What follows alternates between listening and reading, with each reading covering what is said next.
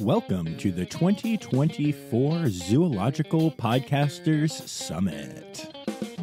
Hello, I'm John Rossi. I'm a touring drummer with a passion for animal conservation. When I'm on the road, I spend as much time as possible visiting zoos, aquariums, and conservation organizations.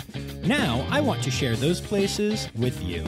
I'll be talking to keepers, vets, conservationists, anyone who can help me in my mission of connecting my people to animals through their people.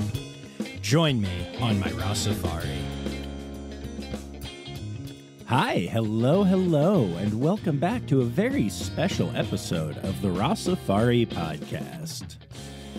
Y'all, I am so excited today to have two wonderful people sharing the podcast stage with me. Uh, today, you're going to be hearing from a guest who you've heard from before, Elizabeth Johnson, who is at the Naples Zoo, but more importantly, for today's purposes, is the host of the Mothering Wildlife podcast, which is a podcast that is all about being a mother in the zoological field and in the wider wildlife field. And y'all, I had such a hard time saying wider wildlife field. I, I kept stumbling and saying wilder, wilder life field. So, yeah. Anyway, uh, it's an amazing podcast. I am proud to be uh, the producer of it, and um, Elizabeth is just amazing. And then my other guest is actually appearing on the podcast for the very first time, and I am very excited to have him here, and that is Chris Jenkins. And Chris Jenkins is one of the very important people at Natural Encounters Inc., NEI, uh, the company run by Steve Martin that is just legendary for the amazing training work they do. But uh, again, the reason that Chris is actually on the podcast today is because he is the co host of the NEI Tec Talk podcast. And uh, so we are here to talk all about what life is like as a zoological podcaster. We each answer a bunch of questions, including sharing, um, you know, how we make these, what uh, has inspired us, how our podcasts have grown, what some of the challenges and what some of the perks of of being zoological podcasters uh, have been for all of us and um, I'm I'm really excited. This is a long chat. It is a fun chat. We get into some very tech things near the end. If you've ever thought of starting a podcast, definitely uh, hang on for that section. But um, yeah, it was a lot of fun to collaborate with these two and to uh, uh share what we do with all of you. And uh, the interview you're about to hear is going to be shared on Mothering Wildlife and on the Tec Talk podcast as well. So I encourage you to make sure that you've signed up for those. And I think it would be really fun. I doubt anyone wants to listen to the interview three times, but uh, to go and hear what their intros are going to be and what they're going to have to say about everything, I think it'll be kind of fun to, to, to experience that. Also, for those of you who are wondering, yes, there are two names that uh, as soon as you you saw that this was going to be a podcaster summit, you probably expected to be hearing, and those names are Daisy and Tess uh, from our our friends at Trainer Talks and Tales over in Australia. And y'all, we tried and they tried, but uh, life was just not very accommodating, especially with the time zone differences, but we do love Daisy and Tess so much. And uh, of course, if you're not uh, listening to, you know, Trainer Talks and Tales, then make sure that you are going and listening to them as well. Because honestly, I I really missed having their presence on this podcast. Um, but it's an amazing podcast, and I want y'all to go listen to it. So yeah, all right, this is a very long episode. So without further ado, we're gonna get to it. Uh, here is my interview with uh, me Elizabeth Johnson, and Chris Jenkins. Enjoy.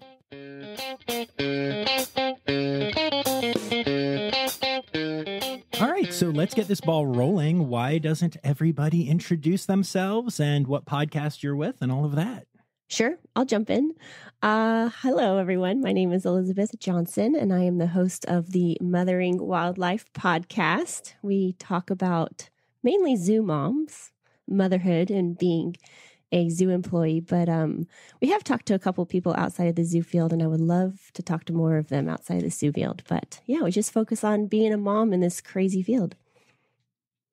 And hello, my name is Chris Jenkins. I am one of the hosts of the Tec Talk podcast presented by Natural Encounters Incorporated. So we are the uh, official podcast, I guess, of NEI, um, the company run by Steve Martin that does animal training and bird show stuff and all kinds of animal behavior stuff all over the world. And uh, I'm the chief operating officer of that company. And when COVID changed everything for everything we were doing, and we were deciding about what new online offerings we could offer until we figured out what the future was going to look like, I immediately raised my hand and said, I want to host a podcast.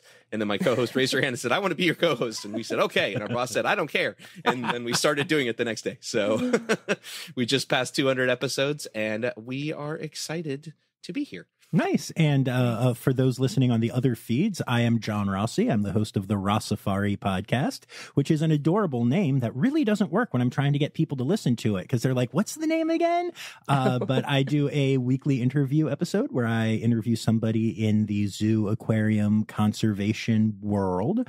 Uh, and then I also do a weekly zoo news episode where I do uh, some light dives and some deep dives into everything going on in that world uh, as far as what's happened like in the news that week. We talk about births and deaths and uh, cool things that facilities are doing and sometimes the the viral videos that happen that we we love or hate and you know just kind of talk about all of that. So yeah. And uh, i want to thank y'all for uh, for coming and hanging out and and doing this to talk about what it's like to be a zoological podcaster. Um, so why don't we start off by everybody kind of saying, I mean, Chris, you already cheated and did this, but uh, why why you started the podcast? um, hi, it's Elizabeth. I, you know, a couple of years ago, I was pregnant and a coworker of mine was also pregnant and you know, we were working our zoo job and we just kind of kept having the same conversation of, man, this job and all that it encompasses in the zoo field with you know as a keeper especially the physical labor that's involved you know the mental and the emotional energy that you're putting into caring for living beings um it we were just like this job is is just nuts to then also be a pregnant woman and to be a mom. We also both had children at that time.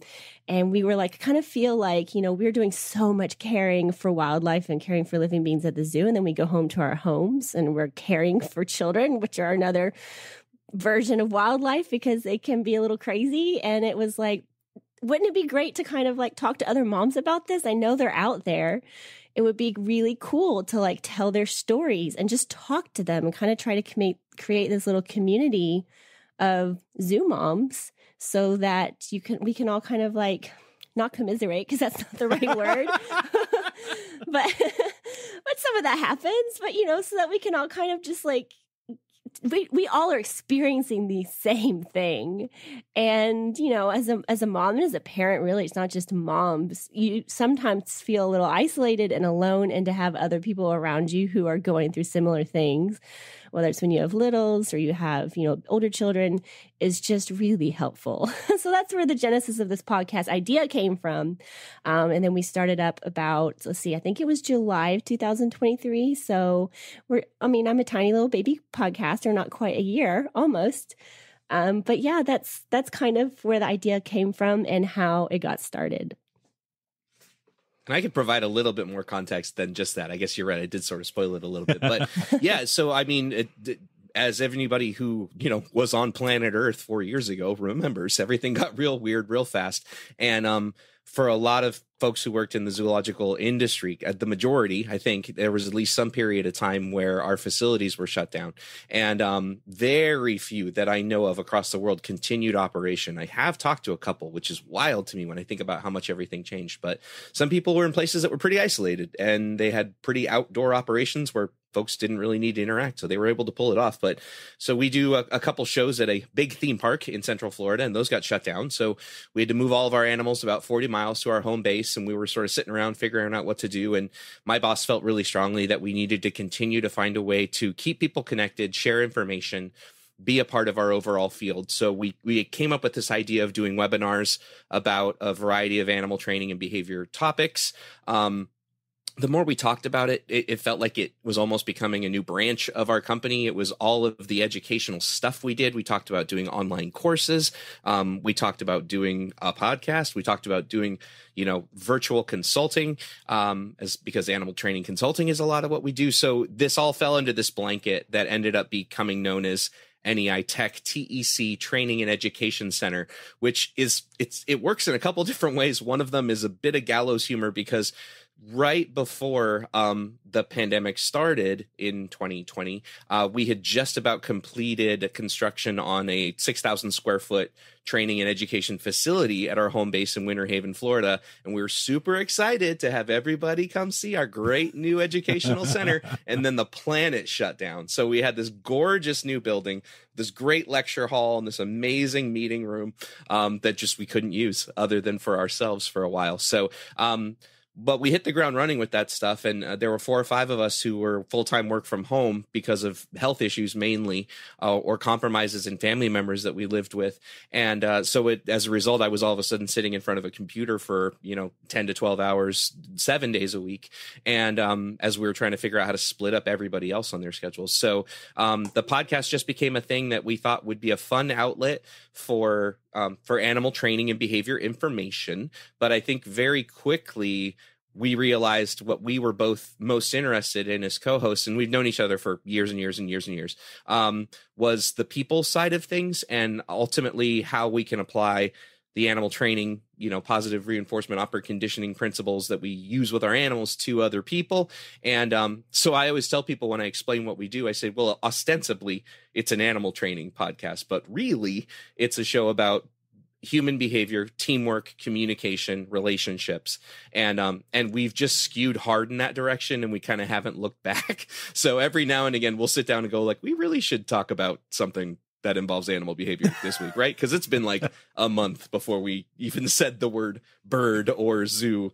Um, we've just been talking to leaders and curators and supervisors or people who are brand new to the field who don't know what they're looking for exactly and want advice. So that's kind of the little niche I think we've fallen into. Very cool. Yeah, and uh, my story is is similar with the the COVID being what launched it thing. Um, but uh, so you know, my day job is that I am a touring drummer, and uh, I go around doing shows all around the country.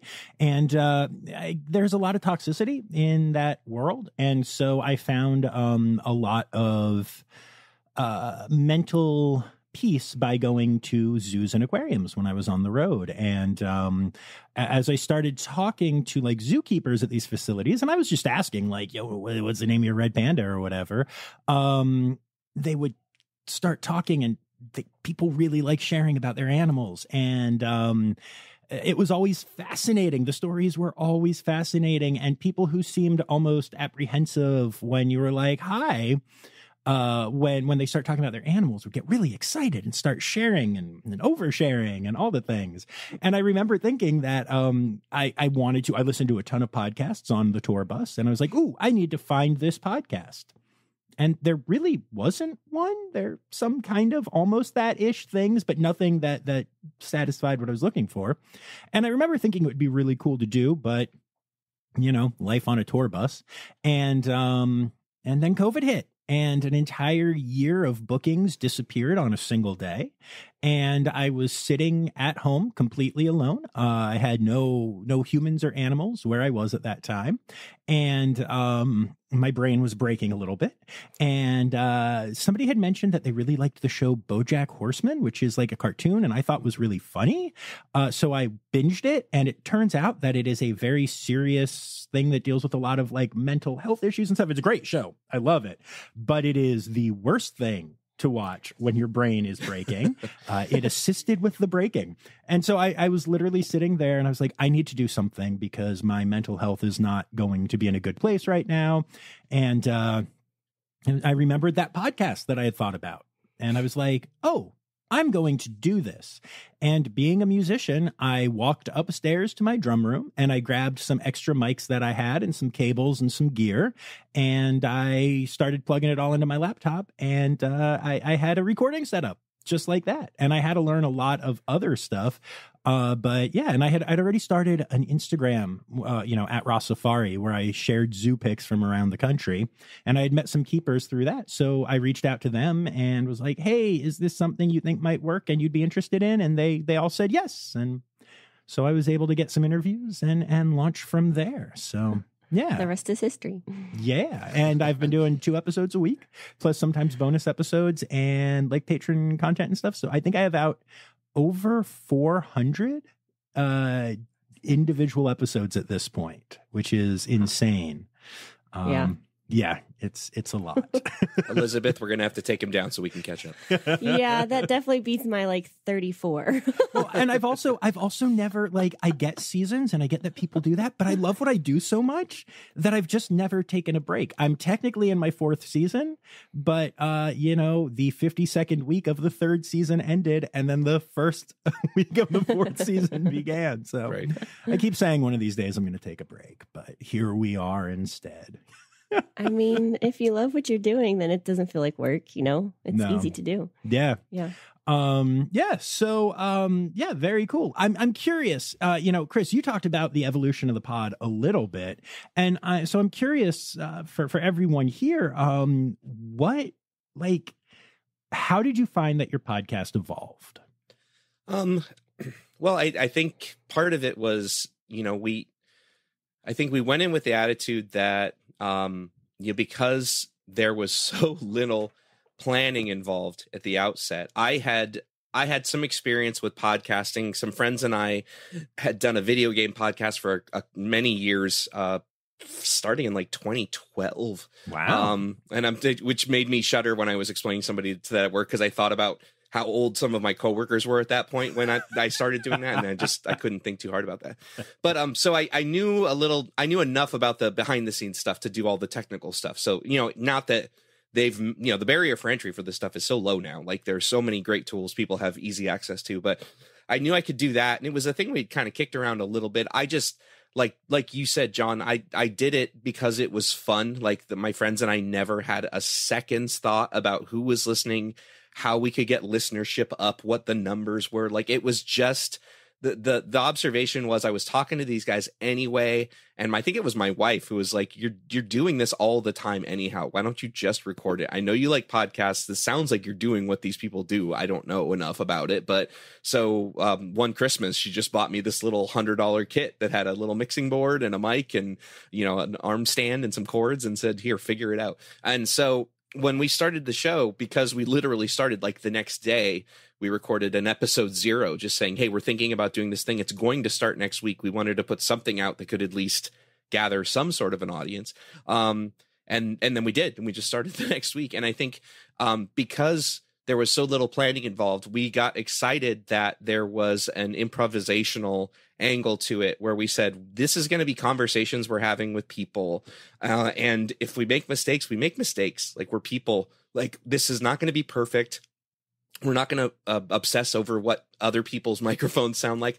Although I will find I have gotten weirdly intolerant of when people don't have good sounding. oh yeah, it's all about the audio. yeah, I'm sure that's a much bigger part of your life than it is most people, John. But like, um, but eh, you know, we we never wanted to script anything. We we have scripted a couple things in so much as another party required it. You know, we've had those couple recordings where it's the two of us talking to someone else, but there's like a fourth or fifth person in the room from PR or something who is just I don't know ready to pull the plug if something goes weird. It never has. But um, oh, I know those people though. yeah. Oh boy, do I know those people. and I, I've even talked a couple of them into getting on the microphone because I'm like, come on, you work at the place too. Talk about the thing. Um, but um, but yeah, and I think because when people realized what it was, the consistent feedback we were getting early on was like, oh, I didn't, I had no idea this is what it. We were just talking. We were just talking, and and and what made us feel really good that we were following an angle that made sense was that um, the feedback we were getting early on was like, hey, given the timing of this and everything that's going on, like I love my team at work, but we don't see each other anymore because COVID. So everybody's divided up and split up and isolated. Um, this feels like it's a chance for me to hang out with some friends every week. And that, that meant the world to us. So we said, okay, so I think in a way, like we've talked about, hey, we should probably tighten up this. And we have tweaked a couple things about the format of the show. We've made it shorter overall because of consistent feedback we've gotten from people. But it, it felt like it was fun for what we wanted. We saw a lot of other people filling other niches in the in the sort of field, and th- we said this is great. Let's just keep doing this. Um, and then the fact that all of the other sort of higher ups in our company never gave it a thought of wanting to like give us any sort of approvals. Like Steve gave us a thumbs up and we ran away with it. We we bring him on the show every now and again to be our guest, which is great. Um, and he will he will sort of you know pimp the show to everyone at every opportunity he has, which is pretty great.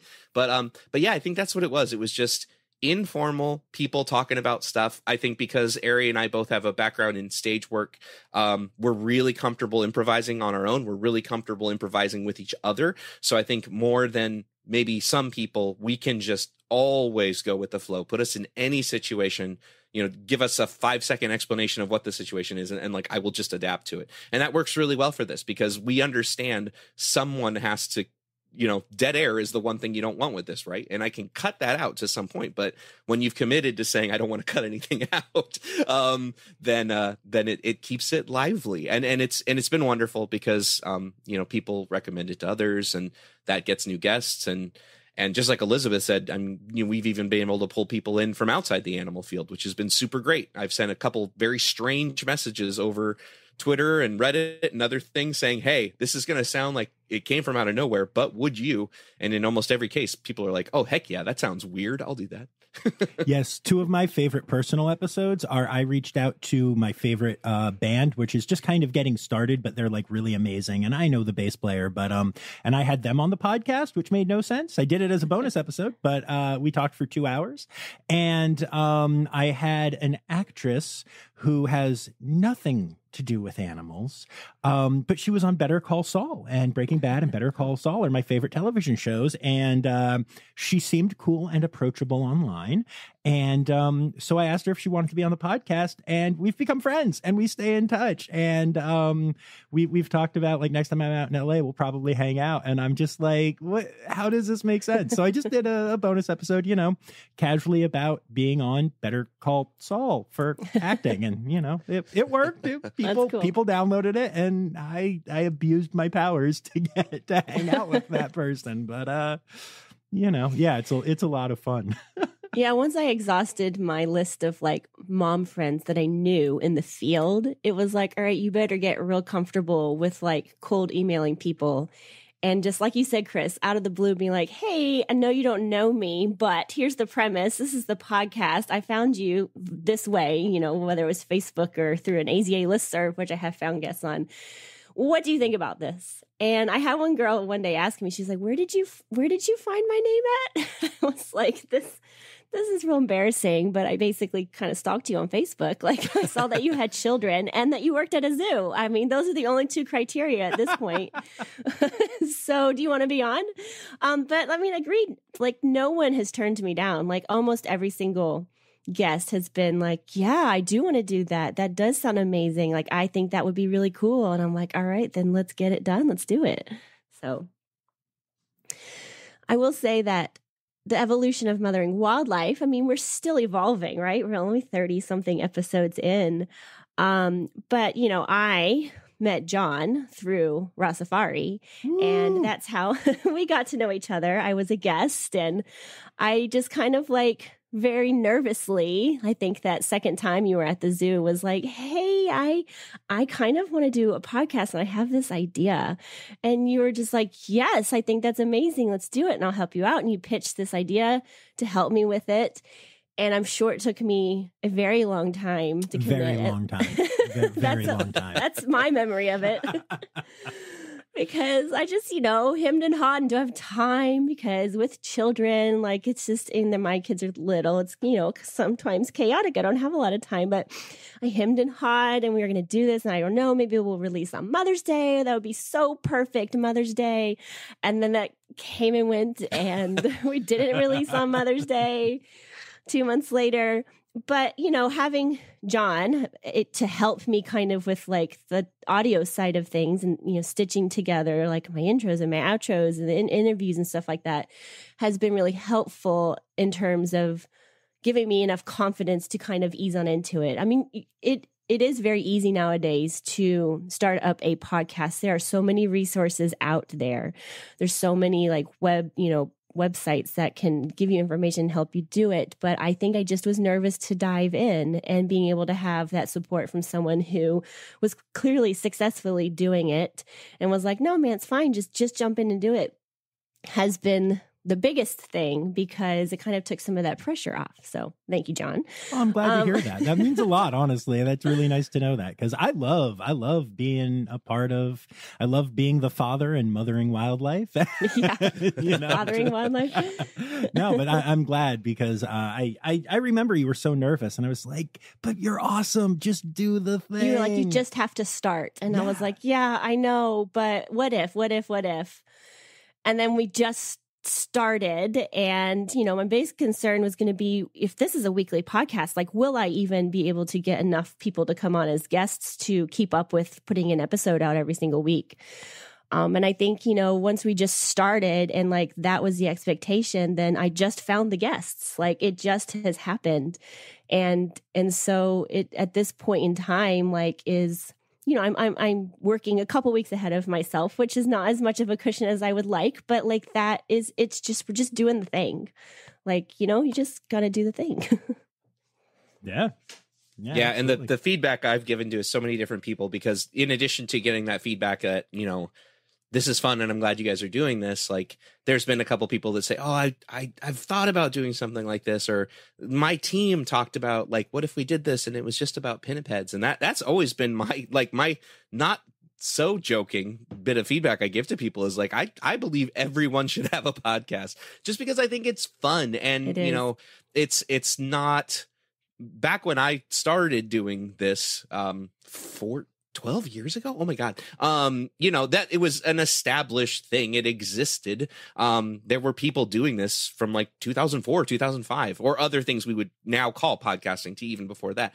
But it really wasn't you know at the level that it is now. I mean and, and i can grab most people's phones and sort of say you know what's in your library? And it's a it's a lot. And you know whole genres and professions have grown out of this. But the thing i'm continually amazed for is if you can think about any specific part of any specific subject that you are interested in there is a resource out there and there is a community of people that's out there. And i think the community part of the zoo industry which is probably one of the things that's kept things going for the three of us is that uh, you know i i joke a lot that despite what you may see if you go to a conference or a large organization like i firmly believe there's only about 100 people in the whole zoo industry all over planet earth because if i don't know you I know somebody you know, or I know yeah. your boss, or uh, your boss uh, was my boss, or it, it's just, it's so crazy. And even just scrolling through, because I wanted to verify, I was like, wait, I think Elizabeth's show is what Ari was on. I'm looking through that. I was like, okay, Courtney, yeah, yeah she worked with my wife. Okay, there's Ari. Okay, good. There's, oh, there's uh, from Riverbanks. Yep, I know them.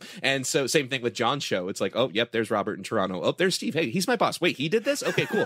um, so it, it's, it's such a small field. And I think you know, we talk a lot about like hey do you imagine that when i don't know like a doctor decides he's going to go on vacation with his family to like a different state does he reach out on some message board and go hey fellow doctors can i meet up with anyone and like go to your hospital but like we do that all the time right? It's not i, I am oh what, i'm going to be going up to montreal for some reason. Okay what facilities are up there? Do i know anybody there? Does somebody i know okay, can i reach out? Hey would it can I come hang out and see yours? Like people are so happy to show off what they do and share what they do. We're all proud of what we do in this field. So I, I think having this outlet is is super cool, and having people work in this field who either because of commutes or because of parts of their day when you're just doing like discrete independent work like husbandry or something like that, and you know we don't have to have big huge you know ear cans on our head anymore we can stick these little things in our ear and listen to other people talk as the day goes by like john said like i got a lot of time on my hands so i'm gonna listen to podcasts so why not add your voice to that that's always my recommendation for people yeah I, think, I oh, well, sorry go, go ahead. ahead. i was oh. just gonna say i mean I used to be worried that, you know, Zoo Mom was such a specific niche. It's like, you know, we're talking about the zoo field in general, like we are saying, like it, it's small, it's inbred. We kind of joke about that. Everyone knows everyone. But now I'm taking a tiny little subset and I'm just talking to moms. And it was like, is that too niche to make a podcast? Will anyone even listen? And I've kind of really been sim- surprised about how far it, ha- it has reached and how many people have been like, oh, no, yeah, this is totally needed. I'm so glad that you're doing this. Like, I can't, I wish it existed years ago. Like, it just, it's, it, it's not too small. Like, it's just proved to me that it definitely is important to, you know, the bigger mission. And building on that, I think that's one thing that I've I've really come to realize is that having a niche is really important. You know, I'm I'm the inside outsider now and I'm I'm to a lot of people kind of a trusted source. A lot of people tell me when they're changing facilities, they're looking for a new job, they will listen and and if someone if a place hasn't been on the podcast, they reach out and ask why. And sometimes it's just there hasn't been that opportunity yet. But I've literally had people reach out and if I'm like, "Oh yeah, no, you know, I I I tried 5 times and they're just not interested." They're kind of like, "Oh, what are they hiding?" Okay, I'm going to look at some other places. I've heard stories like that, you know. And it's it's a really cool niche. And I think the Zoo News thing is also a, a, very cool kind of niche thing. But I have heard stories from PR people that I've gotten close to of people that send emails to these zoos uh, that, that will say things like, Hi, I want to start my own version of Rossifari. Who can I talk to and what animals can I meet? and it works zero times. You have to find something that is a niche that, you know, you are contributing, you're you're adding something new, you're adding your own voice, your own take. Um and you also I think have to do it for the right reasons. I think mm-hmm. all three of us got into this because of being passionate. And and you know, everything that we said no one said, "Ooh, I want to, you know, advance my career. I want to meet a bunch of animals, whatever." As a matter of fact, the first time that I actually got to go to a facility to record because uh, you know, COVID was at the start of this, it was all online like this you could have knocked me over with a feather when they're like, you want to meet some animals? It had never even crossed my mind. And now I've met, you know, hundreds of species and it's the most amazing thing. But also when a facility is like, yeah, no, we don't, you know, we're not doing any, I'm oh, okay, that's not what we're here for. That's cool. Um, and, and so I think having that niche and also like having an authentic passion is, is what matters. If you just try yeah. to get into it for your own benefit, you'll be lucky to get an episode and and you're not going to make it a year most likely which something like 95% of podcasts don't, you know? Yeah, I mean, I even feel very protective of my guests and the stuff that I'm going to put out on social media when I'm trying to like just simply like put it out there that there's a new episode you should listen because I kind of feel like, because, you know, I was talking to someone and they were like, well, you know, why don't you just ask them for like, you know, pictures of themselves? You can put that on social and you can like kind of like blast it as like, this is the mom, this is who we're talking to. And I was like, I just, I just have some sort of moral feeling about that because I am asking these moms and I are having conversations that, you know, some of the things we talk about are just very personal. Not, I mean, they're obviously talking on a podcast that they know is going to be, you know, put out for the world to hear, but like these conversations and some of the topics are, they're things that like you talk about with your mom friends, not on a microphone. And birth and you know whether you choose to breastfeed or not and some you know whether you're co-sleeping and oh, you know some of those things are very polarizing and like the mom sphere and the parent sphere. And i don't ever want a guest to feel like number one uncomfortable. So i always give them the option to opt out of any topic that they're not comfortable with. But i also don't want them to feel like now I've just gone and like splashed our whole entire conversation all over social media just to get some likes or just to get, you know, the popularity of the podcast to increase. Because again, that's not what it was truly meant to be, was really trying just to target those Zoo moms who might want to hear another story and who can like recognize themselves in it and might, you know, make them feel less alone. It wasn't out there to like be the biggest, baddest podcast that had millions of listeners. And so I do feel very protective of like those guests and and what, you know, they're choosing to share with me. If that makes sense. no, totally. Yeah. That's actually something I struggle with sometimes because my goal is to blast, not to grow the podcast for my own sake, but I, I think every one of these stories should be heard by every person out there. I think Raw right. Safari should be mandatory listening for the entire world, not because of me, but because my guests are amazing and what happens in this industry is amazing. And I get so inspired by them that I've gone from a complete outsider who just liked to go to them to volunteering for Red Panda Network, helping out with like, uh, you know, some voiceover stuff for Penguins International. I'm now volunteering at Aquarium of Niagara. I, I am as in this industry as I can be without quitting my day job and being in the industry. I've even gotten to uh, consult on a couple of training things where people just wanted a set of outside eyes and they know that I've become obsessed with your podcast, Chris, and with the ABMA podcast and just like reading books and stuff. And I've been able to help a couple times. So, like, I think I want everyone in the world to experience that, you know, and it's such a weird thing because I I want everyone because of that to to be like listening but then like you said sometimes it gets really personal um and and you know the zoo sphere is a pretty safe place um uh, you know i'm i'm guessing that a lot of anti-zoo people are not going to spend an hour to two hours a week listening to my podcast. Um, and you know, it's not quite the same as like when they follow, you know, social media and, and make snarky comments. Um, and so like, it is kind of a weird safe space. So I, I'm constantly struggling with that balance as well. And I've, I've had people tell me things like you said about ways to just kind of blast the content. And I'm always torn between like, I want to grow this. I want everyone to hear it, but I also want it to be a safe space. It's, Yeah. It's a weird line. Yeah, because of course I have to blast it to some extent because I want it to find those listeners that we're looking for. But I don't want to blast it so much that like it, you know, it reaches this little like inner circle of like the people it's intended for. I don't know. It's just it's it's hard. Well, and I think that that's that's probably a thing that that that John's got to feel in the other side of his life too. Like one of the cool things last year, I had an opportunity to go see the U2 residency at the Sphere in Las Vegas, and seen a lot of interviews with those guys of like, you know, how do you pull off when when your job is to connect people? And I think as a podcaster, that's what you do. And I think a lot of musicians feel that way too. They want to connect with their audience. Um, when you're in front of you know 15,000 40,000 people how do you make that feel as small as possible and i think that that's that is a thing that you know we we try to remember too is you know that we became aware the first time we started going to host uh training workshops and then go to conferences because Ari was on the board of the bird trainer organization I'm on the board of ABMA um that there were these nervous people coming up to talk to us that mm, we didn't really understand what was going on because I'm used to people just I can go up to anybody at any conference in any field, just start, and we're all used to it. But then, and I would find out, oh, it's because like, oh, I really, really like your show, and I just really wanted to say thank you. And it's like, oh, there's, I fangirl over people in the zoo field, and now people are doing that over us. That's weird, but um, but it's also it's nice, and I think that that for me, we've discussed that before. That that to me feels like a pretty good way to know that quote unquote it's working as opposed to like looking at you know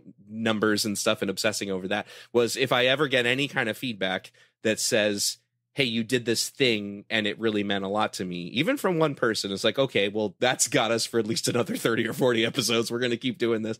And um I think, you know, the only commitment we made, as loose as things were, was we are going to do this every single week, no matter what because reflecting on my previous experience, I think the reason it never really grew into what I wanted it to be was we were super inconsistent. And the only consistent feed that bit of feedback I ever got from anybody else was if you're going to do this, you got to do this. So we made this, we made this choice in our minds every Thursday, something goes up and it, it's going to happen. And we have never failed since 2020. So we're really proud of that. Um, but it is it is wild when you when you hear people coming up, and and letting you know that a thing that you said meant something to them. And i think that uh, you know ari my co-host has always said the biggest biggest reinforcer for her is always when one of our coworkers lets us know that we did this because those guys literally have to listen to us talk all day long. and so to choose to do it on their own time, uh, I think is just blows my mind. I can remember one day I was leaving work and as I was standing at my car, a, a coworker pulled up beside me and she rolled down her passenger window and just stared at me. She didn't say anything. and I just looked at me and I was like, Hey, and she just didn't say anything and she just started smiling and i realized my voice was coming out of her car speakers and she she was just like that's weird and peeled off and drove away. And i was like oh man that that is that is wild. Anyone cares about this? That's cool. Yeah. I have cried at some of the messages that I've gotten, you know, hormonal mom over here. but I re- all the time, but I really have because I have just been so touched that someone took the time to send me such a nice message about how much a certain episode they listened to made them feel and impacted them. And I don't know. I didn't expect that when I started all of this. And I have literally cried, if I'm being honest. Been like, oh my God, like, oh, and then I'm like, okay, I'll keep going. Like, it just like, I have felt that. oh yeah, no, it's it's amazing. I mean, there are people that are in the industry because they heard my podcast and were inspired and joined the industry and that blows my mind. Like quit their job and uh, once they found something in this field. And that's that, that that kind of thing blows my mind or people who make huge donations that i could never afford to do you know that kind of thing. Um, but i will say talking about conferences chris um, my first AZA conference which was uh, not the most recent one but the one before that was the most mind blowing experience because I've been doing this and I talk to people, and you know, a lot of times I'll go to a facility and I'll have a couple fans. Like you said, there's that thing of like, you know, someone's kind of shy around you, and all of a sudden you realize that that's why. Um, but at the first AZA conference that I went to, people were screaming Rossifari when they saw me, or people were were shyly coming up and, and like you said, saying, you know, what episodes impacted them, quoting me or my guests to me, like word for word. And I like you said, I, I don't script any of this stuff. I don't remember what they're talking about, like word for word. And I'm like, oh my gosh. And it was it was such a crazy, like heady experience. And I, I remember I, I told Zoe, my wife, like, nothing will be better than this. Somebody even shouted Rossifari at her. And while she's like on there from time to time, it's not like we post her pictures and stuff. She's a more private person. So the fact they recognized her and, and made a big deal about the pod to her was pretty intense. But then I went to the second of the AZA conferences that I've been to, the most recent one. And it was completely different not because I was recognized less, but because whereas the first time I was a novelty and people were like, oh, Rossifari, bah, now I was just part of the community. And people were coming up to me and, and talking to me about, you know, guests or about episodes, but it was as opposed to me being a, um, you know, kind of the the spectacle that I, w- I was there and and oh here's this this podcast guy and I was just like oh yeah it's John we all know John He's John's one of us cool. now. And yeah, He's- and He's been well, accepted. yeah, and like people were coming up and like, hey, I'd love to do an episode. And I'm like, hey, cool. Um, you know, or I'd go up to people that I wanted to talk to that I was inspired by, and I'd be like, hey, so my name's John and I'm from and like at least a half of the time they'd be like, Yeah, yeah, Rossifari, right? Yeah, yeah, yeah. No, let's yeah, what's up? And I'm like, well, that got easier. Um, so that was actually more rewarding to me in a in a different way. Although I, I did miss the first one where everyone was just shouting Rossifari and being goofy. But but yeah, it's it's really really fascinating. And you know, Chris, you were talking about fangirling about some of these people. I mean. The people that I have had on my podcast, I literally, I've been a zoo fan my entire life. And now that I'm in it, I'm still, like you said, I'm just a big fan. The fact that Steve Martin has been on my podcast is crazy to me. And the fact Amy uh, at NEI told me that, like, he talked about really loving it and that he couldn't remember the name and all you guys were doing research and trying to find me. And that, like, at a staff meeting, there were a bunch of NEI staffers, people I've respected for years just looking up and trying to figure out who John Rossi is and Rossifari. And I was like, this, this moment that she remembered. And I'm sitting there and I'm like, this is crazy to me that they're even, that they even know I exist is crazy to me. You know, it's, it's really trippy. Yeah. Yeah. And, and speaking of trippy, I'm kind of curious. Um, so you know we talked about this a little bit but what has the experience whether and it's not even about numbers like you said but what has the experience of of having for lack of a better word fans? I, I often am loath to use that word. I say listeners a lot or our community but call a spade a spade. There are fans out there and and what what has that um experience been like for y'all? Because i i've had a weird one. I will say that um it it's a reminder for me and this has been a lifelong issue. It, it's funny like we we had a group of people who were we were all instructors at a recent training workshop that we did and we're all people who we interact with people every day where all of us are people who are on stage to one aspect or another and one of the um one of the instructors we were doing this little q&a thing with the students of the course at the end of one of the days he just made this offhanded comment about like well, you know, I mean, it's kind of what you can expect when you've got a group like us sitting up here um, who are all like really gregarious introverts. And like we kind of looked at each other and we're like, okay, our job is to be in front of people. We like being up on top of a stage. Like I I I wanted to pursue the job I have now because I was told, hey, they've got an 1100 seat theater at this big theme park. You should. I was like, yes, that's exciting to me, but I'm very, very, very, very, very shy in most other aspects of my life, and and by all accounts, extremely introverted. And I think one of the things I've always struggled with is knowing how to gracefully take compliments praise and allow myself to be proud of things that other people tell me I should be proud of. So it's been a little bit of an exercise of like really wanting to be appreciative of that and try to ask those folks for a little bit of information about, you know, how did you learn about it? What did you like about it? Is there anything I can do better? Um, that's a big one for me. Is do you have any feedback for me? Which is not something those people are ever expecting. It's like I like. I'm glad you like the thing. How can I change it? Um, but but I mean, it's so so. I think it's fun, and I think the the the the most fun thing for me is not when I see people talking to us about it and telling us that they're fans. It's when I see them talking to other people about it. And I mentioned something in that same workshop about a concept or a resource. I think I talked about crucial conversations, which is something we talk about a lot on on our show. Yeah. And uh, one of the students raised her hand. She's like, "Oh my gosh, yes, it's a great book." And I learned about that book from Chris's podcast. And I they did a book club and they did four episodes. And we're sitting, both of us are sitting here, and I can feel our faces are getting like beat red because it was like I didn't bring this up, but I guess we're gonna ride this wave now. Um, and yeah, it's it's it's super cool. And I think that since we thought of it as like this is a way for us to connect to other people. It was just validation of that. Like it, it's just like okay, yes, this this did what we wanted it to.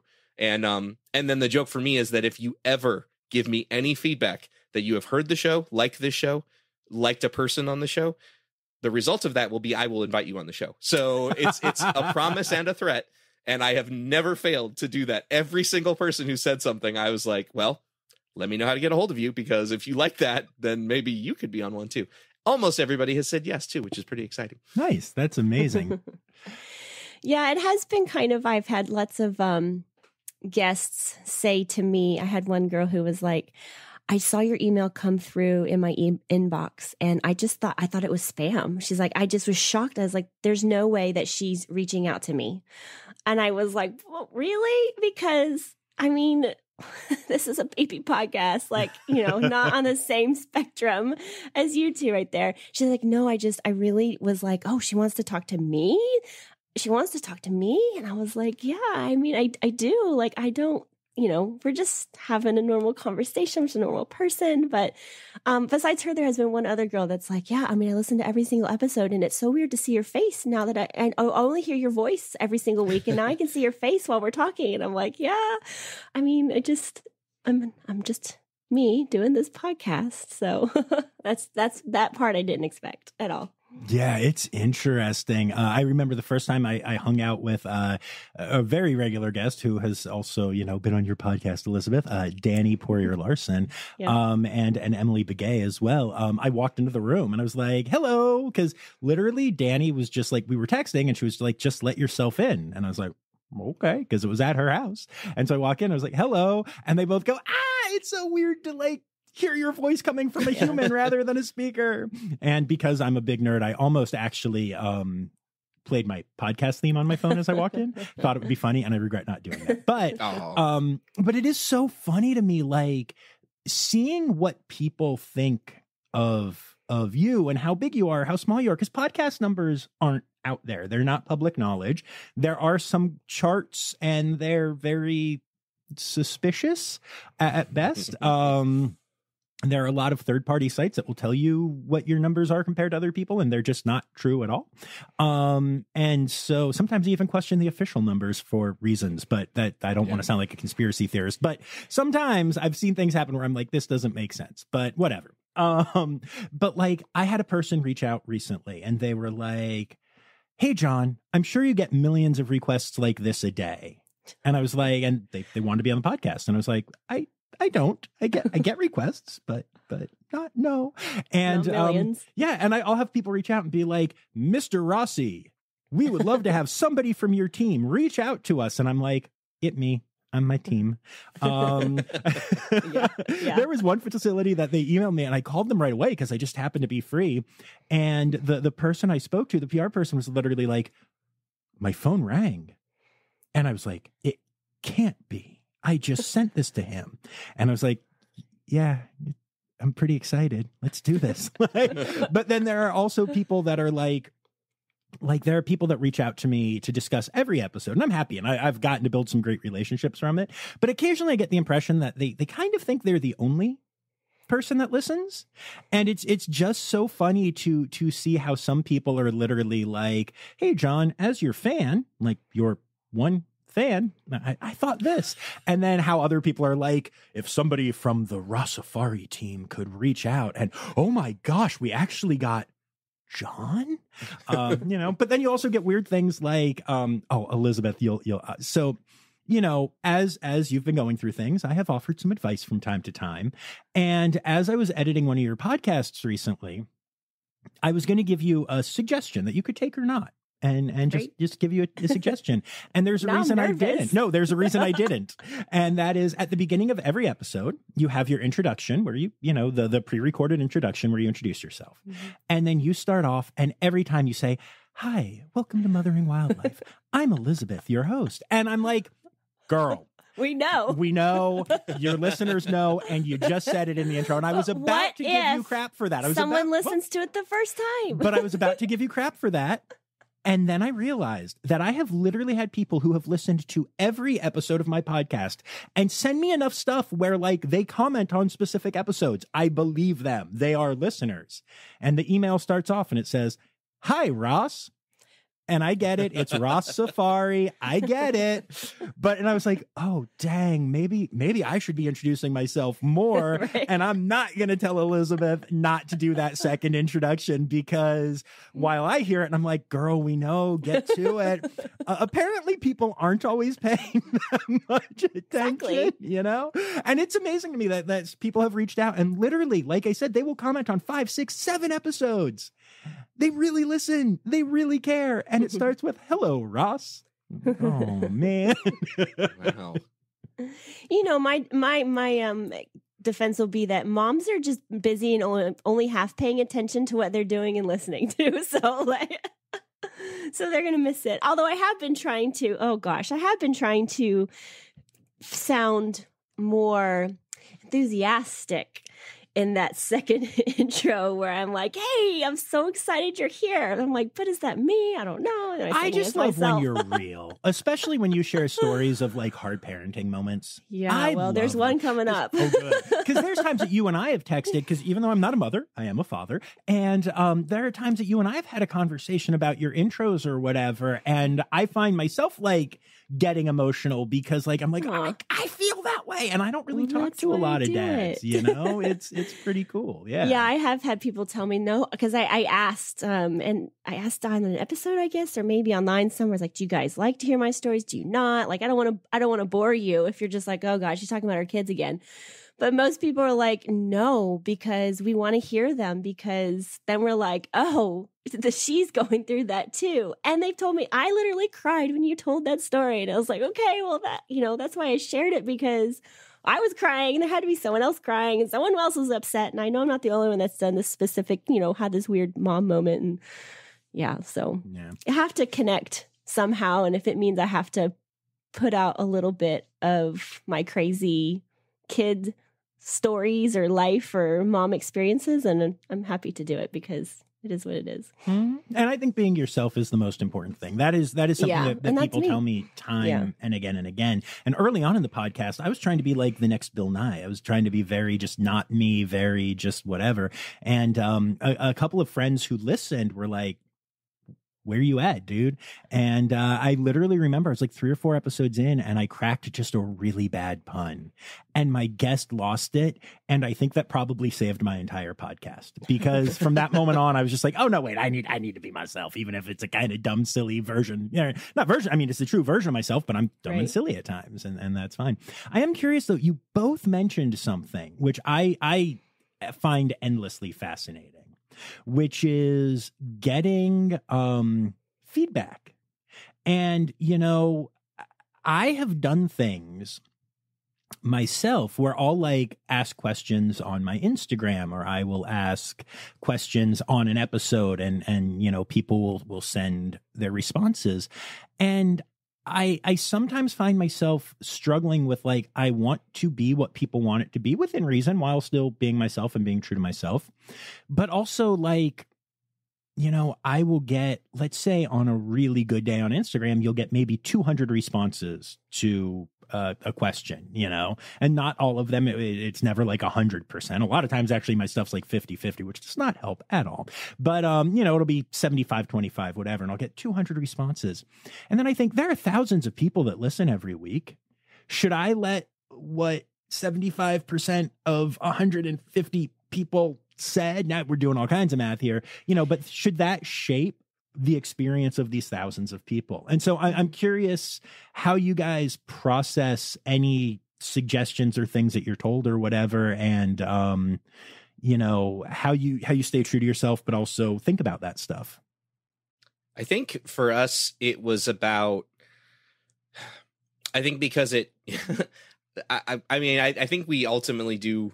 If I get down to it, like I, I think we're ultimately doing the podcast for ourselves. Because we like it and if we didn't like it it would be work that we would always find a reason to avoid and we wouldn't be putting it out every week and it probably wouldn't feel the same. But because it's fun um you know we've, we've talked about there's there are episodes that we finish it and we're like that was fun. Like maybe somebody will get something out of it. And then there are ones that you're done and you're like that was important. And that's the one i'm actually gonna like okay i'm gonna make sure that when i'm editing i'm really paying attention to this. And I'm going to be really careful with my write up and I'm going to share this episode ahead of time in a way that I normally wouldn't with people because I like I think it's important for people to hear this because of something we got on which was not planned or because we have an incredible guest who went down a path that we, you know, didn't couldn't have anticipated. But I think that since we since we did realize yes, we're doing this for ourselves and it needs to be fun, but like we are putting this out for other people to listen to, right? And we're curious what kind of feedback we would get. I think the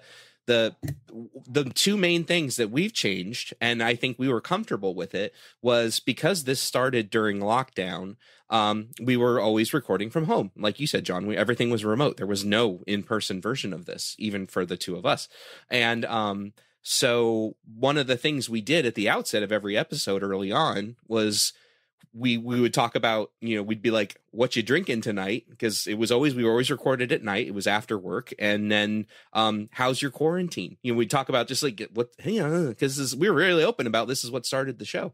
At some point we'd been doing it long enough we're like well that do we have to talk about this anymore? Like it's kind of like it's never going to be over. But like it's you know we're it's not this is not we're back at work. Like we're seeing each other. We're recording live sometimes let's just not do that anymore. And then um, we had a couple guests who, you know, when we asked the question about like, hey, what you drinking? They would just sort of be like, oh, I didn't mineral water. I don't know. And I got the sense, and then somebody finally mentioned it that they were like slightly uncomfortable about it. Not that they had a problem with drinking or anything, but just that like I don't know, like it seemed like you know they were here to talk about like a breeding program they were working on at their facility or something, and like you know all of a sudden we're like, check out this beer I found this week. um, so we got we got rid of that, and then um, and then uh, there was a thing about overall length, and it's something we still struggle with because we had a couple people on on our staff who said, you know, sometimes you guys get on a tear and it's great. Other times I know things can wander a little bit because I know you don't plan anything. Um, but um, but when you guys can get those episodes where it's like 35, 40 minutes. What I like about that is I can listen to the whole thing on my drive to work, and it's just a really nice way to start my day. Now, I know that's not the use case for everybody, but um, for those people, it was like great. And then the other adjustment we made was, you know, we were so busy at work. And then because we're both members of senior management at our company, work kind of never stops. Um, so because we're doing work stuff at home as well, to do this also at home when we've got families and things like that, like it just it did start to feel like a little bit of a drain. So we sort of committed to saying we're going to record this thing at work. Um, but because we're still members of our team, there are many days where it's like if we're going to do this at work, we're going to have to do it on our lunch break because it doesn't feel right for us to use work time to lock ourselves in an office and goof around about animal stuff. Even though like our staff respects it, they get it. I am sensitive to the fact that like yeah, if I'm doing this, I'm not helping you guys. I'm not washing dishes. I'm not on stage doing the show. So um so that kind of naturally condensed the time anyway because we were often trying to fit ourselves into a one hour block where we didn't before so i think those are the main two things we changed and they were just it so one kind of from our closest listeners our our, our teammates and then one from from guests we had on the show and those felt like adjustments we were super comfortable to make yeah, because I'm so new and I've only got like 30 something episodes. I think that mothering wildlife is still, you know, there's still room to figure out what this looks like and and I I besides the positive feedback that I've received, I haven't had many conversations um, about what should change, what needs to change. I've just been trying certain things here and there and and still playing with it. So like I just I just don't have the longevity yet. Um, but yeah, I I would be and will be totally open to um, suggestions from listeners because I want to keep it as me, like myself, like this is who I am and this is what it's for. But also, like you guys are saying, the small things you've made that makes a big difference sometimes for a listener, and, and there's no harm in doing that too, you know. Mm-hmm. I think for me, what I've done is I, I take all of the feedback and I ask myself if it rings true to me. Mm-hmm. And if it does, great. Like when I first launched Zoo News, it was just me talking. There, there were no none of the the fun little sections and parody songs and breaks and all of that. And it was just random story after random story. So it was a giraffe was born at this zoo, and uh, rhino numbers are up in Kenya this year, and that's exciting. And uh, oh, a wolf died at this zoo, whatever, you know. And it was a blah blah blah. And once I broke it up and all that stuff, it it you know I had a couple people who were like, "That's a cool concept, but." Wow, it's a lot, dude. And so that that rang true to me, and I was like, yeah, it was kind of a lot recording it too. So I I whipped up some parody songs and came up with some ways to do it. And I'm still, you know, you say you're a baby podcast, but I had made major changes by my 30th week, you know. And but also like I just recently made some changes to to Zoo News in particular. A couple weeks ago I started um I kind of always start with uh, an update on John because people have asked for that, and I would never do that otherwise. But that's what I do. And then once we go into the actual Zoo News section, I would always start with births and deaths. And um, lately, there there have just been a bunch of kind of stories that I've wanted to go a little deeper on, and a little, and so I've started putting one story at the beginning. I have a headline. I mean, and this makes sense. This is what every news program does basically and then i get into the smaller stuff. And um that's a change that i think i made a month ago but the feedback has been really good about it and i'm i'm really excited. So yeah i, I think it always evolves. But there have been things that people have said to me and i'm literally like eh no that can be someone else's podcast and you're one voice out of you know thousands that listen and i appreciate it. Like i would never say that to them but like there are times that i just have to remind myself because it's very easy at least for me to hear one person say one thing and be like ah you're ruining your podcast. You have to change everything flop sweat. And it's just not that you know? Yeah. So yeah. Yeah. I am curious if any of you guys have any thoughts or things that you've been wondering about. Yes, I'm going to take advantage of this opportunity uh, for something very, very specific, and it's something very dorky. And I hope that people will uh, follow us with this. And I think maybe John even teased it when we first started talking about this. So, um, you know, uh, my show did something kind of similar to this, where we brought together some podcasters from some other shows, and and we sort of got to talking about, you know, uh, how did your show start? You know, some similar kind of things that we're talking about tonight. But um, but one of the things I missed out on that I'm just personally very interested in is um some basics about the recording process, like what microphones are you using what software do you use how do you edit um and I'm just I'm curious because I think it answers some things for some other people who are they've gone beyond the like oh I want to do this but I don't know how. They've now said yes. And now they're like god I wish I had somebody I could talk to about this. And I guess I can get on Reddit forums and I can go and I can google things and yeah but like uh um so like you said John and, and you've you've done this with Elizabeth and I've done it with ABMA and we've you know it, this idea of supporting each other there. So like how how do you guys actually record and edit your shows? I'm gonna start with Elizabeth. Oh gosh. well, because I learned everything that I know from John. I do use Clean Feed. um, to record my audio with my guests, which is super easy to use. It's pretty intuitive, even for someone like me who is technologically challenged. I mean, so technologically challenged. wow. We have had more ep- issues with your episodes than we have with 400 of mine. Just saying. Yeah. But go ahead. I, I love you. It's true. I was telling John before you got on, Chris, that um, pretty much every single episode we spend the first 10 minutes of like i can't hear you no can you maybe mm-hmm. do this no okay turn the zoom off and just connect with clean feed nope that didn't work okay try to go into your system like literally every single episode and because i you know i'm i'm i'm getting better at troubleshooting but so anyway i do also use clean feed which is a great program um, and it does produce very high quality audio that sounds really great and it is actually pretty easy to use because it's just going to send a link to your guests. They can click on it and then they're going to basically tap right into like the little recording studio you can record easily you can save it easily you, you know, right off onto your computer or wherever you're going to do it and it's it's not hard to use. But then i do also pair the visual part of our recording um, through zoom so that i can see who we're talking to and when I can't get clean feed to work because I'm technologically challenged, then I just record our audio over Zoom. and John's told me some little tips and tricks of how to kind of like make it sound better and make sure you're recording, you know, multi tracks and the the echo and the it's like, you know, um, what is this, this setting that you're supposed to do on Zoom? It's like for artists or something. Original sound for musicians. Yes. Yeah. Yep.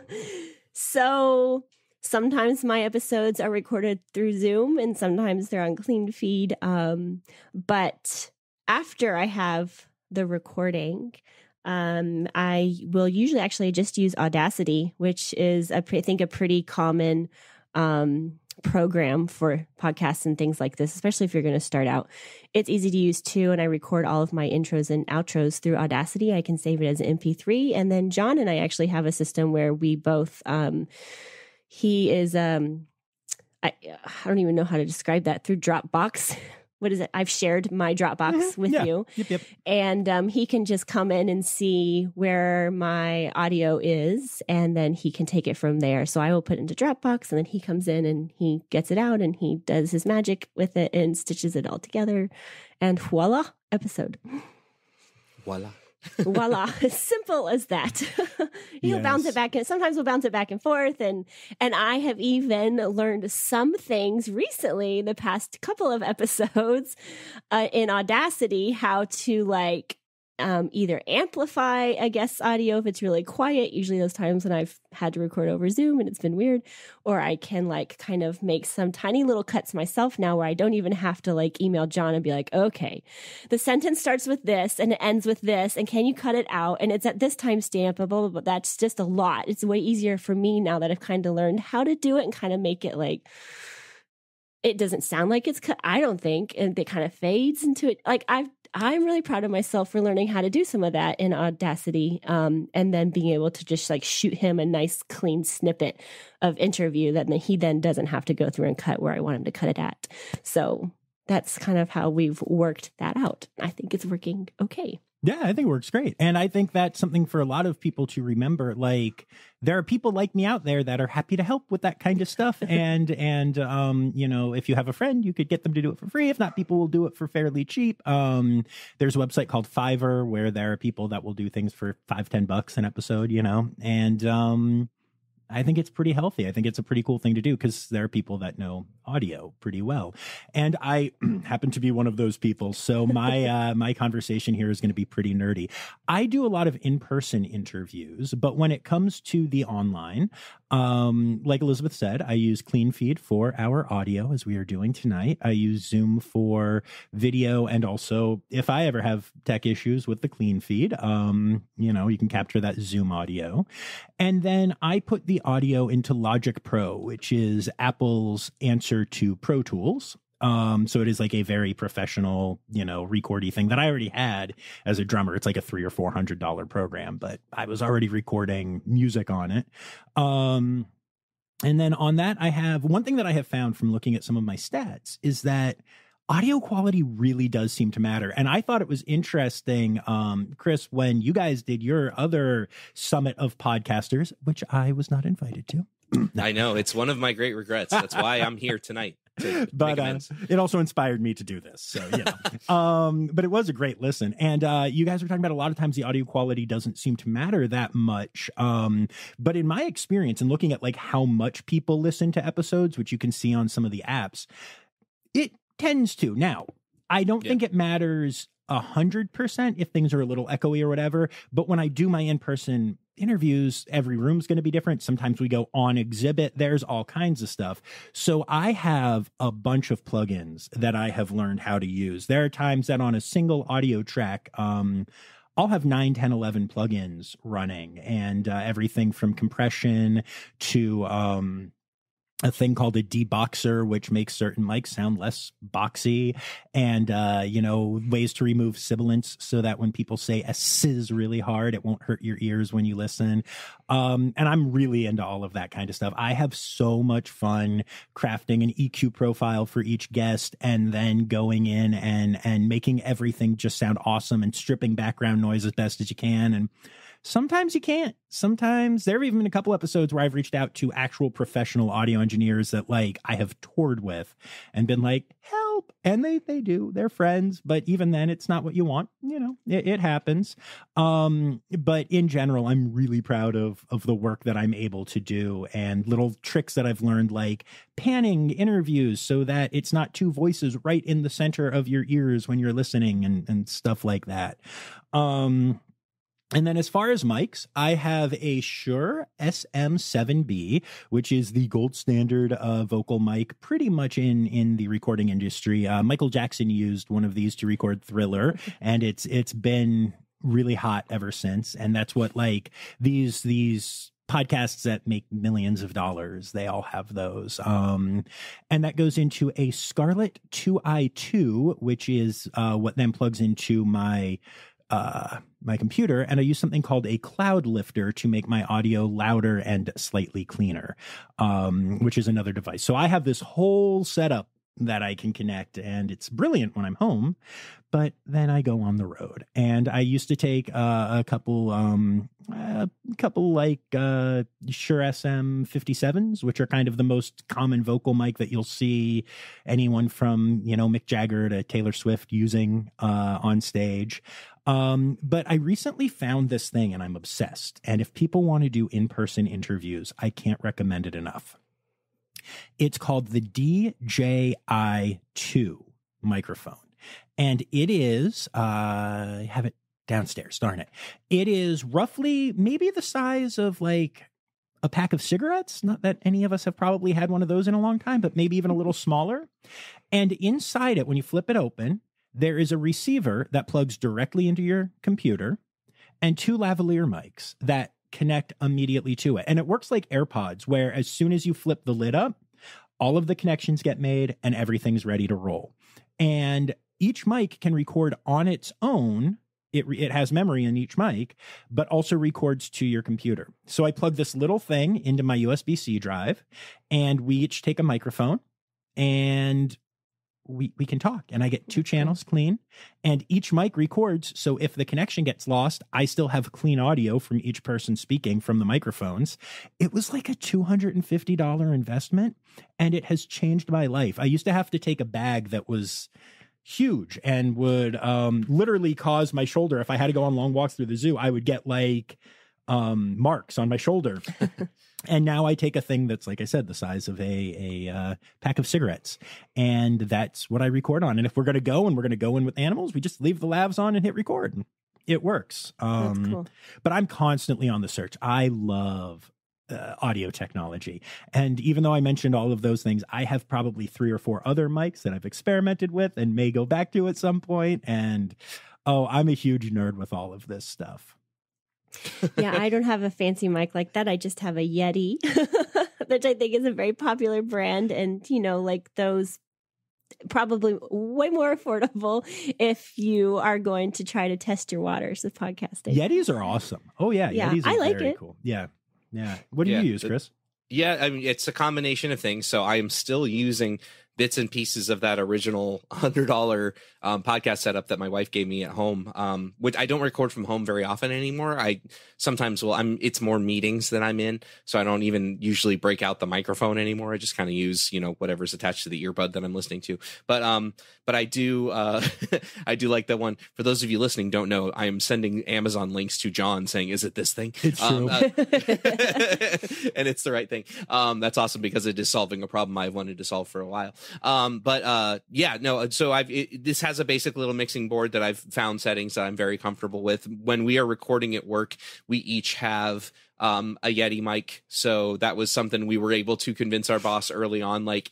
Hey, this is not the cheapest thing in the world, but it's not expensive, and we need one, and you need one, and we need to get them, and because it's like kind of the standard. And he's like, "Well, okay." And our, boss is kind of a tech nerd too, so that was not a hard sell to tell him we needed to buy some new toys. Um, and um, so that works well. He has since upgraded his mic to something beyond that. I don't even know what it is. He went on a journey of his own. but um, but yeah, I think uh, b- both of us ended up.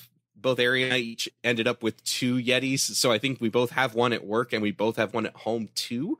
Um, I don't know where my home one is. It's probably in my luggage because I sometimes take it with me when I travel. But um, and we are oftentimes using just the audio recorded straight from Zoom if it involves other people. Um, because I didn't know about Clean Feed, but that's probably going to be my new solution now. Um, and um, you know, just the when I started doing this, the kind of bog standard way that you would get most people to do these things was, okay, I need you to, s- I need you to download this program, and so when we talk, I need you to hit record, and then we're going to count down. We're going to go three, two, one, and we're all going to clap so I can see what it looks like on the thing. I just made John spit water all over his uh, recording studio, um, and um, because you remember those days. Oh, the clap Um, is so real. The- yeah, Yeah. I, I still use it with my DJI mics just to, you know, make sure they all sync up. Yeah. Exactly. the things drift, audio drifts. I don't know why it just does sometimes. But um so um we're oftentimes using that. Um, when I discovered that, you know, recording to my computer meant that I got separate audio tracks instead of just one track where everybody's dumped together, that was a big game changer for me. Um and now when we record at work, um i'm the new software that i've been messing around with that i kind of like i need to learn more about is called audio hijack. That was something that was recommended by some other folks i knew who were doing podcast stuff. It was really inexpensive but um it it it's a very sort of graphic user interface of you know all the stuff that john was talking about. You know i can get the compressors and the vu meters and the peak meters and i can just drag them onto this screen to, to connect you know this is where the mic is on the left. Here's where your recording is on the right. So it's just visual representations of all the different things. Two mics, cool. Just tell me which mics they are and how you want it to dump together. So it's just a fun little puzzle that I've kind of been messing with.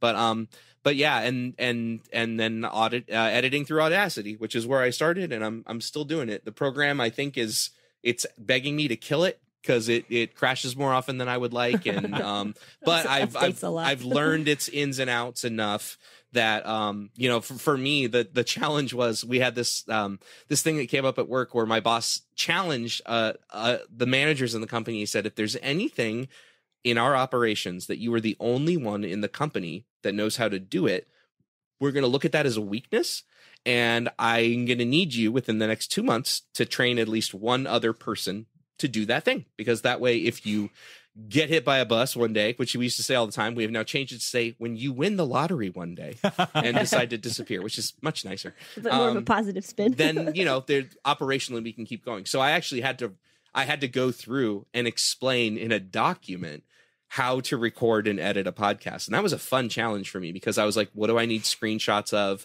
How do i explain what file hosting is? How do i explain what it is? And then going through and saying okay there's a billion things you can do but what you need to understand is amplify. You need to understand noise cancellation. You need to understand you know so those little settings that i can remember the day that i accidentally found out that i could mute a portion of a track instead of have to like cut it and then stretch it back out to its original length just because i like i literally like hit command l by accident and i went what? And it like changed everything. So yes the very essence of self-taught. Um uh but yeah it it it works for us. And it's one of those things that i am anything that involves electronics and techie type stuff like i have to be careful with myself because if i wanted to say like I'm just going to start digging a little bit into this rabbit hole. It's probably not that deep, right? I'm just going to see where the bottom is. Then I it, it it would be bad. And then I think the other thing is since I wanted this to continue to be a thing that really was focused on work. The the the primary things for me were cost efficiency. Um, and you know there are times when the the episode is getting edited hours before it goes live.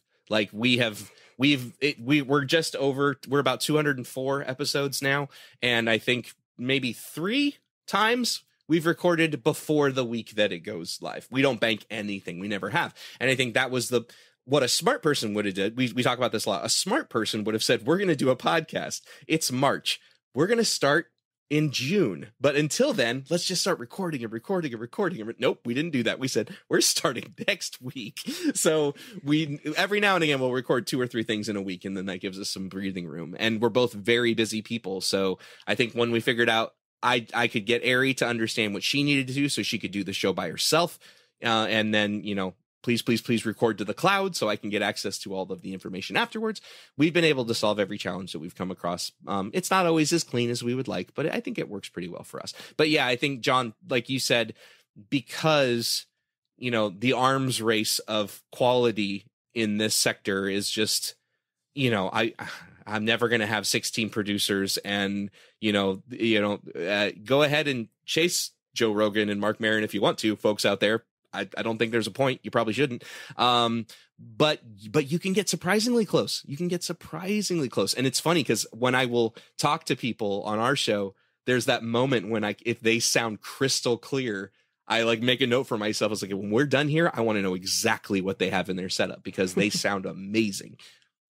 Yeah, I love I, I have gone off that cliff like like that you were talking about because while I knew how to record and like I would not recommend Logic or Pro Tools for anyone who is just getting into it. Audacity is very user friendly. There are other ones out there, but um, this stuff is not. it is not at all. And um, they just assume that you are a, a engineer, which I like. I guess I kind of am now, but not really. Um, but when I started to get into, uh, I, I didn't need to know any of this stuff for the drums that I record. So it was a whole, all of these literally dozens of plugins that I have for for Logic now. I had to learn, you know, kind of on the fly and um, it it is it is an interesting. Every once in a while, I'll find myself. It's like late night, and uh, in, instead of having one too many drinks, I'm buying one too many plugins, and I'm like, "Oh, John, what are we doing?" Um, but I'm I'm proud of the audio. As a matter of fact, uh, there was a, a company that I, I, worked with for a while called Daydreamer Media. They did a a series of podcasts that I was a, a part of for about a year. It was like an experiment, and it, it didn't get quite where they were hoping, but it was it was cool to be a part of. And um, eh, they would basically you could pay them to produce your podcast. Mm-hmm. And when they were first pitching the idea of partnering with me to me, um, I was by far and away their their biggest uh, podcast just coming into it. Um, eh, you know, they had talked, oh, we'll help you with merch, we'll help with this, we'll help with that. It was very cool. And then they were like, all right, now we're gonna have our like chief engineer talk to you. And I was like, in my brain, I was like, ah, here comes the sales pitch. Here comes mm. the, you know, you pay us $20 a week and we'll, we'll make it sound crystal clear. And she was like, your podcast sounds amazing. Great work. Thank you for, for, you know, if you ever have any questions, we can talk, we could figure something out, but like, keep doing what you're doing. I was like, heck yeah because this is like a real audio engineer and yeah. and i actually know i have a few uh you know regular listeners. Uh, i still struggle to say the word fans. I don't know it feels weird. But um who are like prof- like one of them works for npr and as an audio engineer. And uh they they have commented many times about how great things sound and i'm like woo that's cool. Yeah. Thank you for indulging that oh, I, I, could talk nerd talk all day. Elizabeth, did you have any uh, questions you wanted to ask or anything you were thinking about? No, but I just have a comment on the audio still. It is my biggest stress because I am solely doing interviews, not in person. and you never know what the guest is going to show up with and what they're trying to use even though you try to tell them you know what what is the best and so it is it is i'm getting better at it but it is like my biggest anxiety um those first 10 minutes when we've both tried to connect and one person sounds awful and the other person sounds great and or i think it sounds great and then i listen back to it after the whole entire interview's done and i'm like wow i can barely hear this person which has happened a couple of times. Um so yeah it can be stressful but um i do i am I am getting more into being able to troubleshoot it, and I and it's actually really interesting. So I think it's it's a nice new skill set to learn. It is. And I have found that it can help you with some other connections. I had Hillary Han- Henke reach out to me, and I love Hillary, and she's been on the podcast. And she reached out one night and she was like, John, I'm releasing a, a podcast episode tomorrow, and my audio is shot. Here's what's going on. What can I do? And I was like, email it to me. And 10 minutes later, she had workable audio. Like, was it perfect? Yeah. No. But did it sound, you know, it was listenable? Her original one was literally not yeah and I, I i loved being able to do that and to help out you know another uh, just amazing person who i've Mhm. known about for years and not only was it cool that like she was on the podcast but then when she had an audio issue she thought of me and i was able to help that's so fancy That is cool. yeah it makes me really that's cool. happy yeah very cool. Um I, I'm I'm curious, you know, as as we talk about this stuff, and I know we should probably wind down here, but um, I, I want to ask, what like philosophy do you go into your interviews with?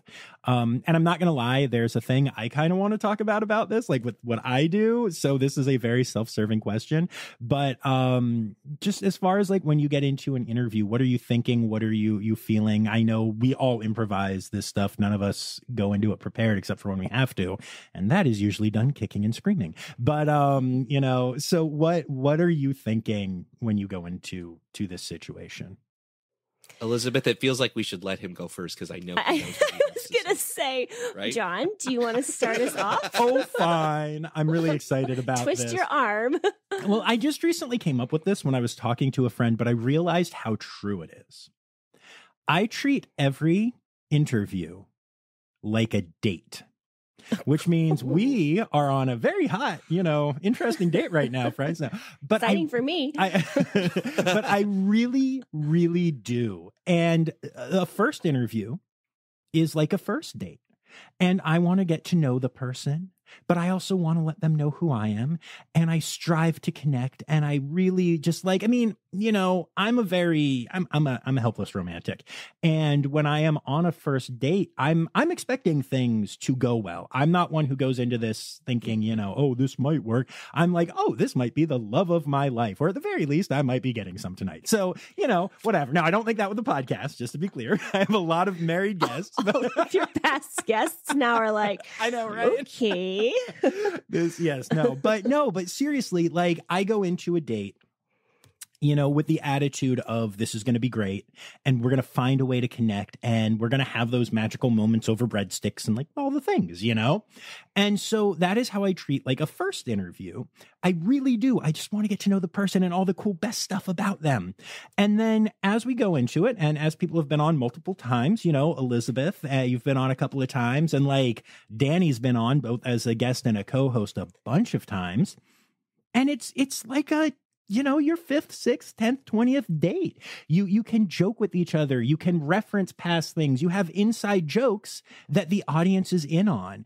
But just like with the date where i get that sense of excitement and like that that slight like good nerves not like bad nerves that's really what it feels like to me every time. And actually what triggered me even remembering i wanted to talk about this was elizabeth when you said when you get on and there's an audio issue right away it literally is like when you get on like to me it's like when you're on your first date and all you get there and the reservation they can't find it It's like frantic. or there's a kid screaming at the restaurant and you're like no no i want this to be so good and i want it to be magical and i want this person to think i'm awesome and ah and like Yeah. i don't know when i had this realization um it really like it defines if you if you go back next time that y'all are listening to one of my podcasts especially with a new guest just listen and you'll hear how excited i am and how fun and into it i am. And it, it's literally that is what i'm like on a first date.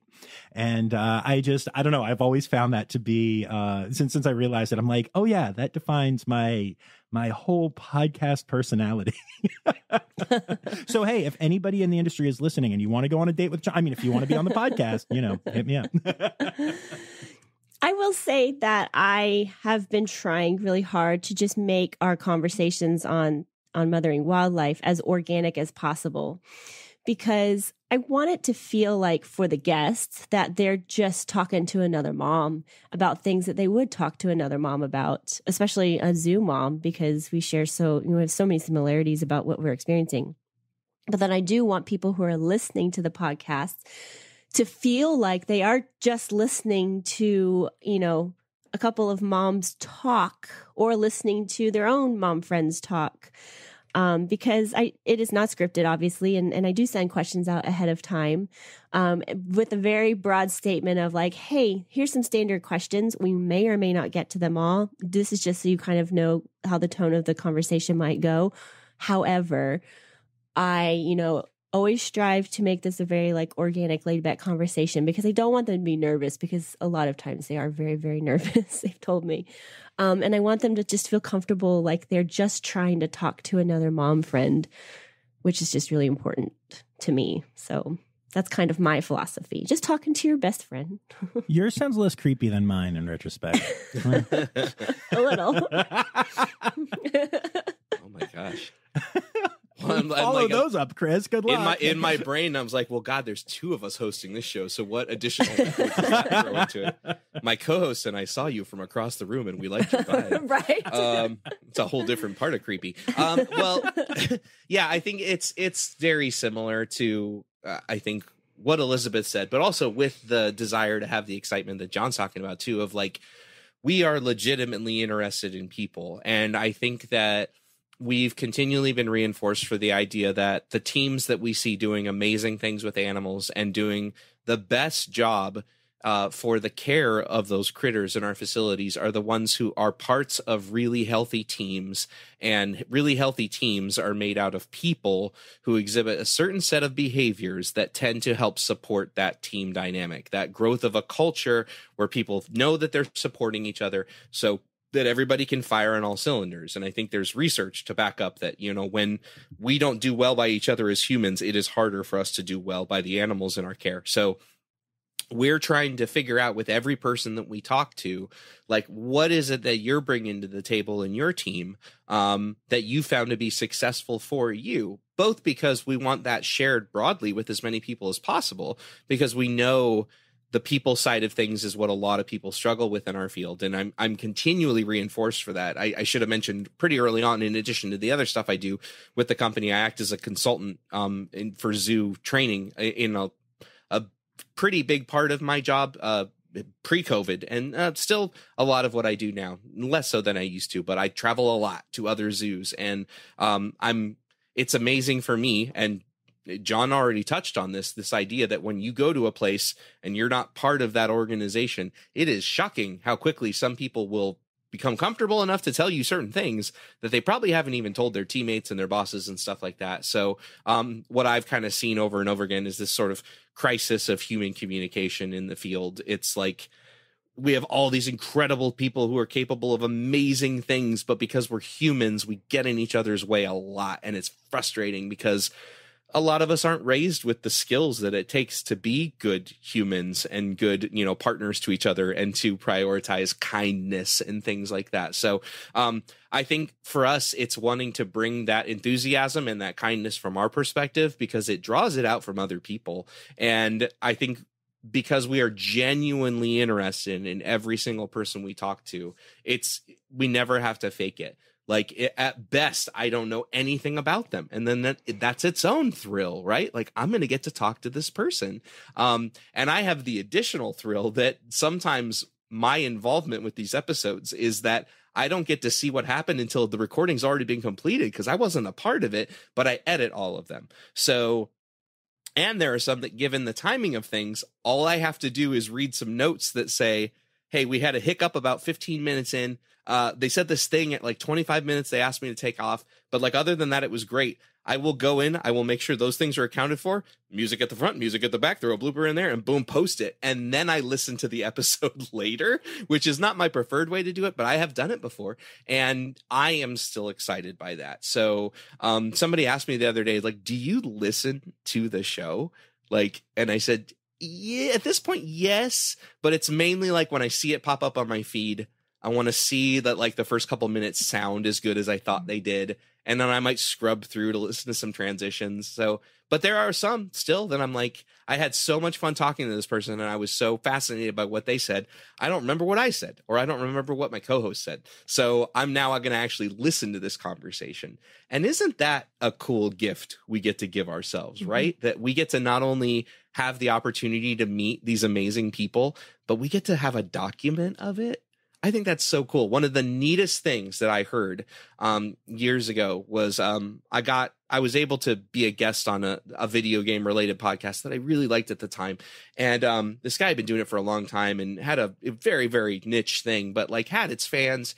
And his wife, for I think either his birthday one year or an anniversary, got him a hardbound book of the transcripts of every episode he had recorded up to that point. Oh, wow. And I was, your faces are the exact same face that I made when I heard that because I was like, that is amazing. And it's funny because now I, I hear ads for companies that will like, do that with you know your family members. Like oh, you know have a monthly conversation with your grandma and then at the end of the year like we'll we'll make a thing that's a doc it's a scrapbook but it's an audio scrapbook.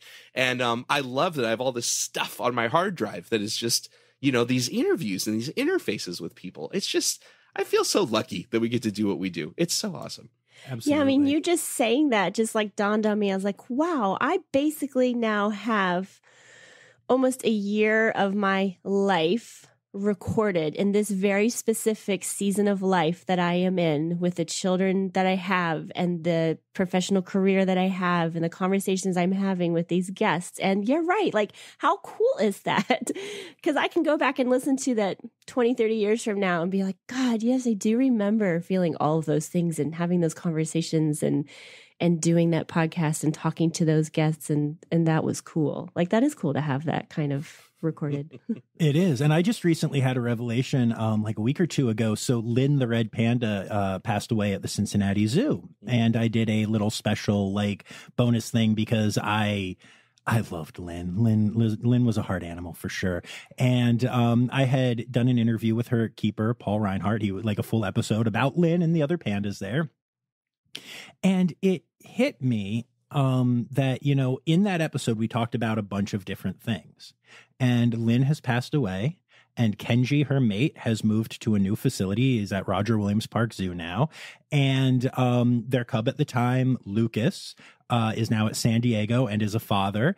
And the cubs that are at Cincinnati now were not born yet at, at, the time of this interview and uh, one of the staff members that I, I, talked about was was no longer there and um, as as I was listening back to like cut out some audio for my little bonus thing, it hit me that every episode not only tracks my journey with the with the stuff that I talk about in Zoo News, like you said, Elizabeth, but is a beautiful snapshot of a moment in time at one of these facilities where thanks to births, deaths, careers, AZA, you know, SSP moves, all that stuff, it's never going to be that way again.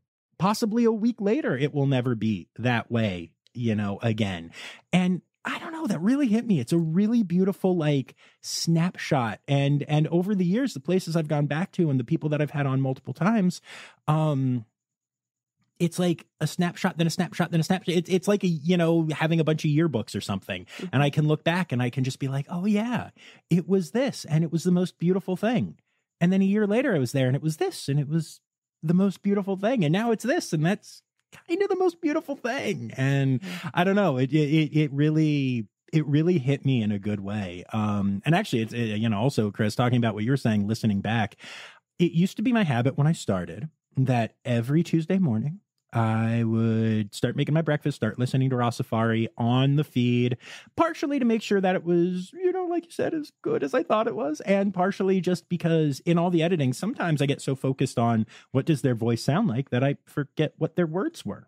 Mm. Um, and as life has moved on, I'm not able to do that very often anymore. I'm a wildly busy person and and trying to keep up with other stuff. Uh, but I was just recently saying to Zoe, I really think I need to start doing that again because I feel so connected to those people and it just it's so rewarding. It is such amazing reinforcement to listen to this thing you know, right under Conan O'Brien needs a friend or whatever. And it has the great audio quality and it's the stories I'm sharing with people. And honestly, when I listen back, it doesn't even feel like I'm listening to me. In a weird sort of way. It's like I'm just listening to a podcast that I love, and I, I kind of miss doing that. I think I'm going to start doing it again some more. nice. Yeah. Does anyone have anything else uh, before I have one final wrap up question? I don't think so. All right, No, real quick, Good. Elizabeth, most surprising thing that has happened to you on this journey? Um, well, probably those people that take the time to reach out. I don't know why I didn't expect that. You, you kind of, I should have, but that has been the most surprising for people to be like, I listened to so and so's episode and I was considering leaving the zoo field or doing something uh, similar, and they inspired me and kind of made me feel like I was making the right decision. Like someone taking their time to tell me that, like I facilitated that, like I did that. That's been the most surprising thing for me. Chris? Um, I'll go with something that was kind of recent that I found out that was pretty cool. Um, AZA, the Association of Zoos and Aquariums, recently updated some basic information about um, like development resources that are in the field that they recommend to organizations and to people within zoos. And then, you know, and um, my organization was mentioned and they talked about um, you know we we do in-person training and consulting. We do shows. We help other organizations set up shows. So it was mainly talking about our in-person workshops that people can come attend. But they mentioned they also have online webinars online courses and even a podcast. And my co-host Ari sent to it. She's like so i guess this show is now like an aza sanctioned professional development tool?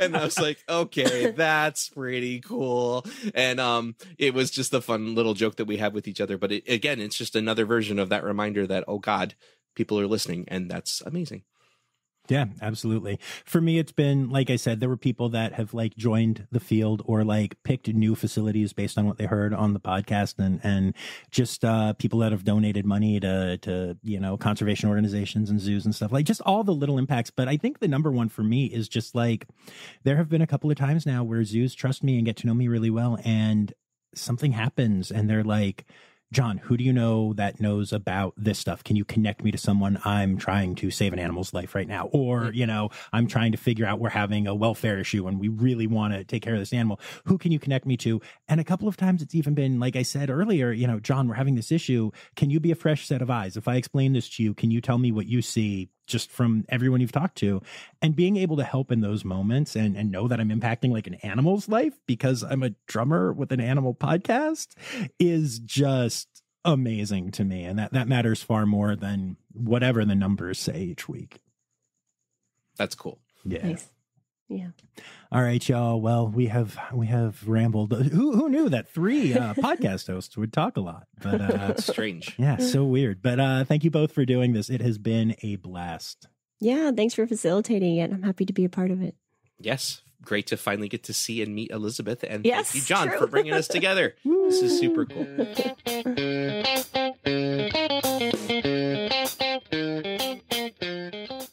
right. Well, I hope that was a fun ride for y'all. And if not, well, too darn bad. It was fun for me. And that's really all that matters in life, right? No, I kid. I kid. But uh, hey, I want to take a moment to say thank you to all of my patrons, especially my Red Panda level patrons Dr. Laura Shank, Dr. Stephen Williamson, Barbara Bennett, and Jenny Owens. And uh, I'd like to remind y'all that we'll be back here on Friday for a Zoo News episode. But also, please make sure that you go and support Chris and support Elizabeth if you think those niches that we talked about might pertain to you. Make sure that you go and you uh, follow along with Mothering Wildlife and the NEI Tec Talk podcast. Uh, they all have cool artwork and great music and awesome people, and yay. Also, you know, animal stuff and, and things like that. So, all right. Uh, yeah, I hope you all have a very good rest of your day. And remember, friends, the word credits backwards is Steiderk. The Rossifari podcast is produced, hosted, and engineered by John Rossi. Editing and fact checking by John and Dr. Zoe Rossi. Our theme song is Sevens by Nathan Burke, performed by Nathan and John. Interrupting John theme and additional voices by Taylor Isaac Gray. You can reach John directly on Instagram and Facebook at Rossifari or by email at rossifaripod at gmail.com. Rossifari is part of the Daydreamer Media Network. Now, stop listening to me and go visit a zoo.